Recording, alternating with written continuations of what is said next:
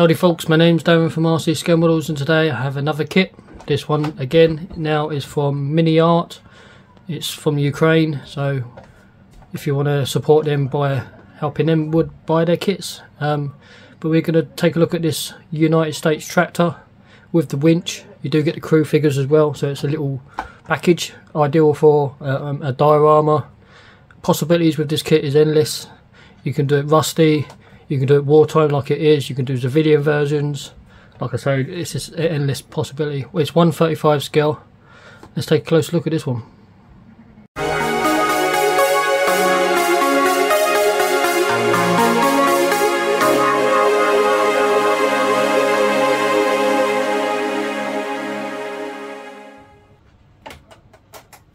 So standard boxing, their boxes are, are not the best, but they will work. But their packaging is all in one bag as well, which is not the best as well. But they do it a certain way. Hopefully, it doesn't get too damaged. Um, on this side, we have a kit number of 35225. We have a built-up model by someone, which is a nice reputation. I do like the way they've done their tracks. It's like shiny silver wear worn down, a little bit of rust and grime here and there. I think that looks a pretty good reputation of how they've done it. They've done it in the US Army version. This side, this side, standard MiniArt. I have had this kit for a little while. They do do release several kits in several different ways sometimes, and they have started to release diorama packages. And if you're looking for diorama stuff, MiniArt has tons of stuff so it's a good uh, company to check out instructions loaded with plastic everything is in one bag so we'll take a closer look at that in a little while so this is uh, their instructions this is mostly some sometimes mostly the same but they've done theirs this kind of way slightly different um, so you open it up you get a normal booklet type very first section. So let's just zoom you in a little bit. So you, we've got all your sprue maps, everything, all your sprues, markings, a little bit of photo etch, and then, on the bottom we have the crew figure. So straight off the bat we are working with a nice detailed engine. We have this section here. I couldn't tell you what lots of it is on an engine because I'm not sure possibly an oil pan but we have loads of covers nice detail parts to go on as you're working your way through the engine tons and tons of detail for the engine we have what looks like 20 steps just for the engine alone more parts for the engine we have some bracket parts this looks like the firewall of the engine that I can, I can gather. More parts for the engine. Looks like the battery section. We have a little bottle on top, either for coolant or water, I'm not sure. Fan belts, radiator system, which is standard. This section here for the engine, this is a built up engine. And then we have looks like part of the gearbox radiator which is here um, we have a couple we do have a lot of levers so you have to pay attention to here um, pipes. Now it's part of the frame. Um, no idea what this is for. This sits in the middle here. And then your, your engine sits on top of it all which basically the main chassis of the tractor and engine. A little bit of wiring. You can make this look really really good. And now we have a couple of parts for the engine again. Uh, looks like a little bulkhead. Not sure here's part of your pedals. So this is possibly for your brake. Clutch maybe I don't know. And then we have more levers for the tractor. More parts for the tractor more piping and attachment levers. More handles levers. This is probably to do the winch now maybe. We have more support brackets diamond plating for the floor. Now we have looks like part of the suspension assembly which is hit this section here. There is a lot of overlapping backwards and forwards so you just have to be careful in the instructions. It is quite busy instructions they do these. We have the section at the back where you for towing. We have some cover plates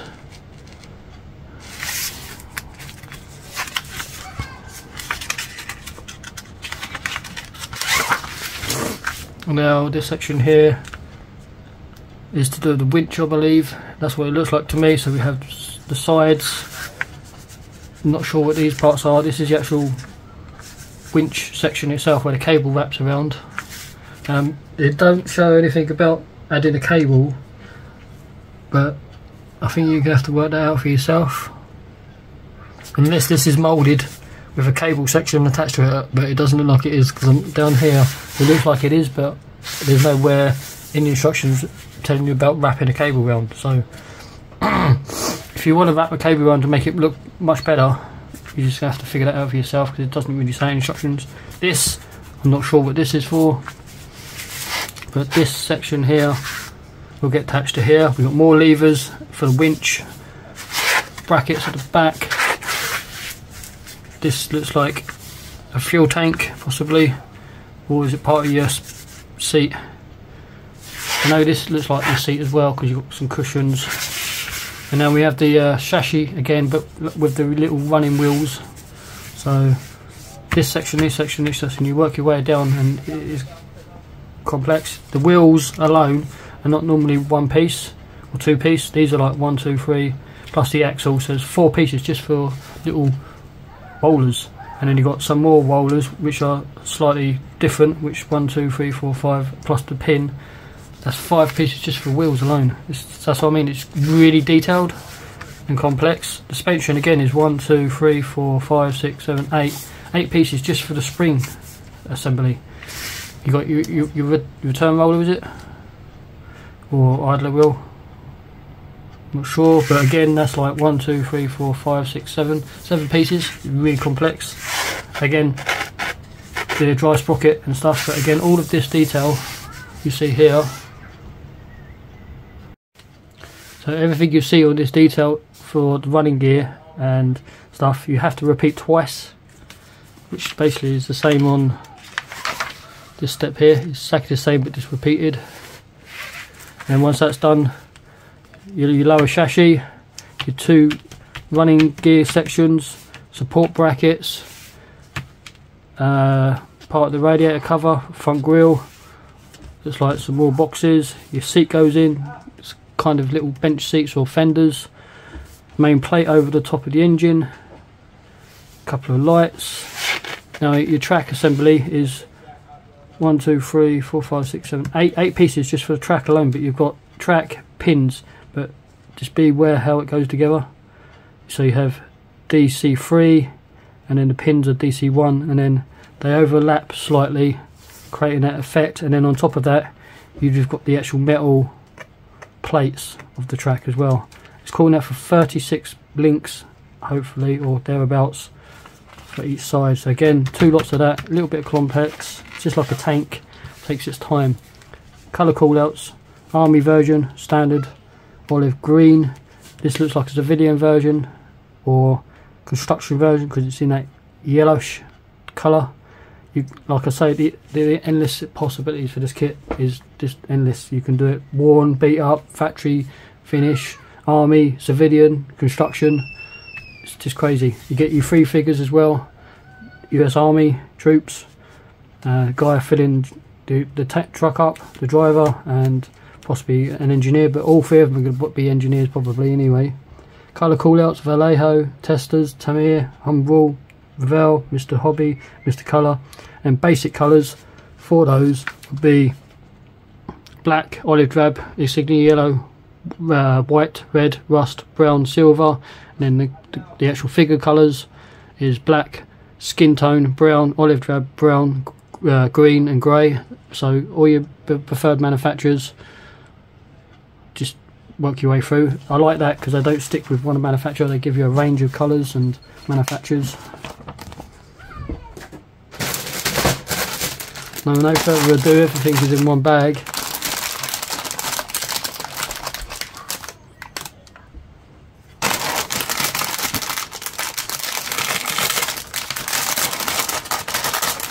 I do want to try and save this bag So actually there's a little piece of plastic's come off, that's why I don't like it in one bag. So I have to put that in the box carefully because I don't know what it goes to. you have a small bag of your figure. Sometimes there are bags in bags, which which normally uh, I didn't think they would do. So take a look at these sections.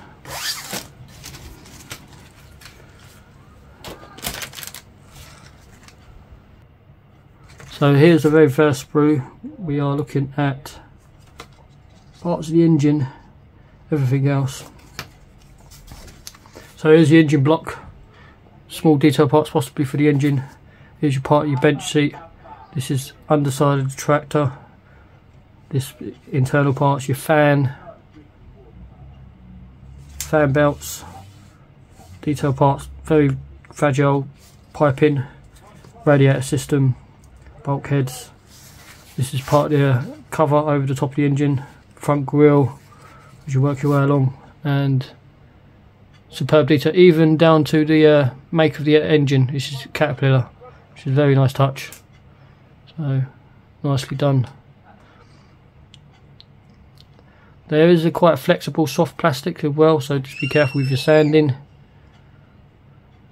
Leaf springs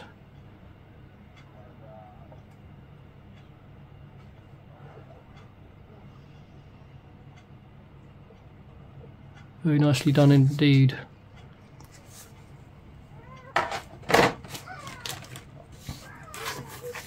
So this one here we have loads of fine detail parts. You have to be super careful, especially all these parts here.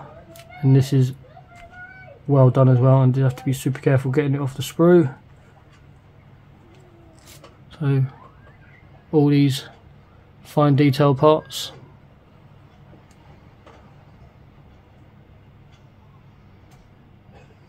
Loads of small little bits. These are slide molded the way it's done at the bottom. Get this shape.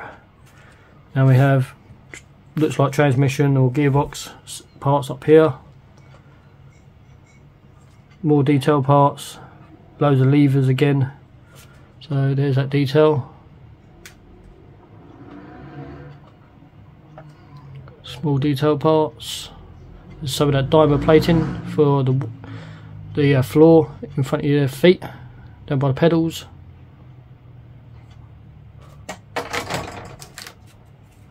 Then we have this sprue here, is the chassis supports. This is the, the uh, little running running gear section where the small wheels are. Supports. This is same section. Gearbox or transmission possibly. More support parts. So again, this is definitely not a beginner build. It's going to be a little bit complex. Here is the main frame. Nice bolt detail.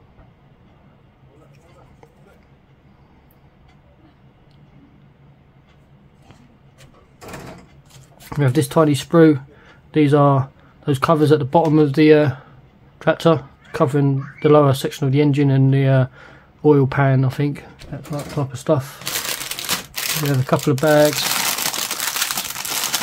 Show you the figures. I ain't a figure painter, so I can't tell you if they're good or bad, but they do loads of different range of figures. Civilian, military, um, army, soldiers. It's just endless. That they do a hell of a lot of range. So we have one crew figure here. This looks like the guy's sitting down because he's got his legs bent but I think they're they're good. I think they're good. We have these tabs so they don't get nasty ejector pins. The faces don't look too bad. We have his hat separately. We have another figure. This is the one with the jerry can. So it's nice detail for the jerry cans. Like I say, they do tons of accessories as well. MiniArt. There's his face. I think that's pretty good for plastic.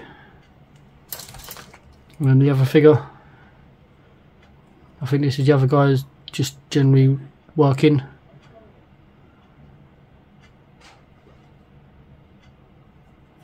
Pretty good.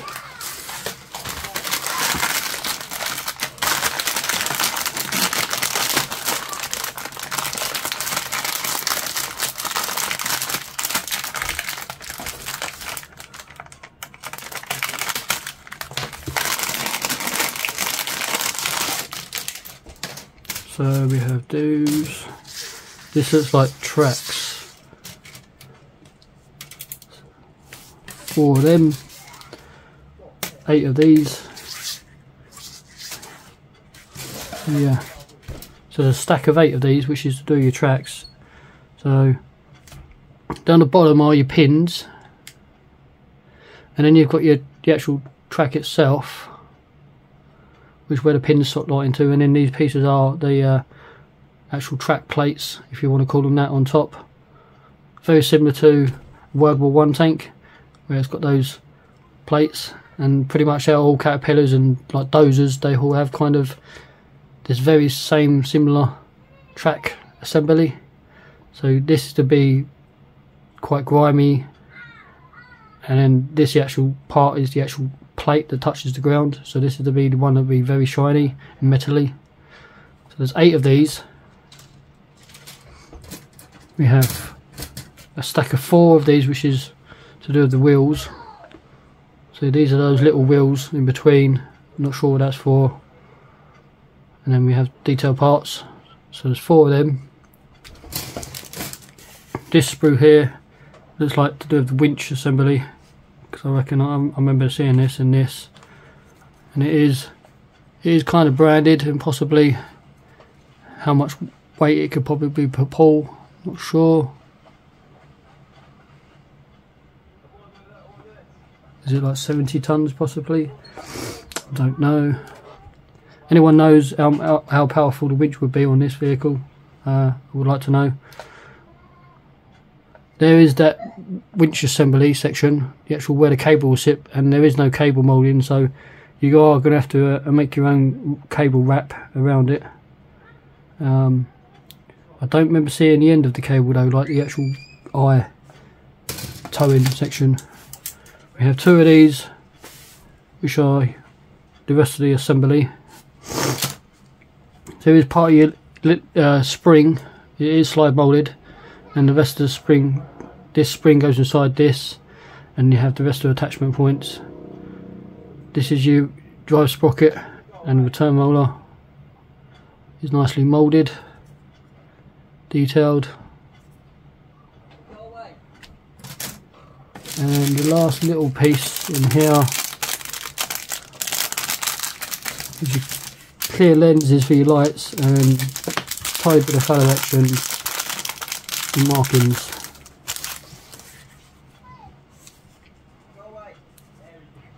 So here's your photo etch part.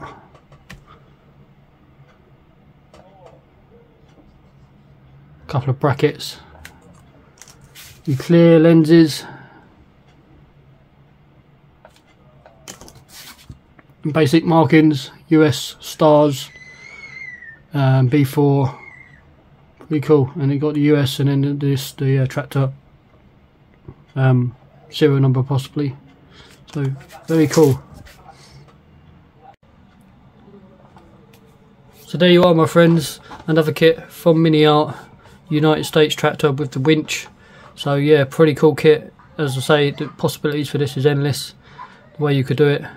Um, superb kit, I wouldn't recommend this for beginner at all. With the complex of the kit and the amount of parts, it could be a little bit frustrating for a beginner, especially to find detail parts. It's going to be very fragile when it's done, but once it's done, it, it's going to be impressive kit to build. Um, but yeah, like, comment, subscribe, and I'll catch you next time.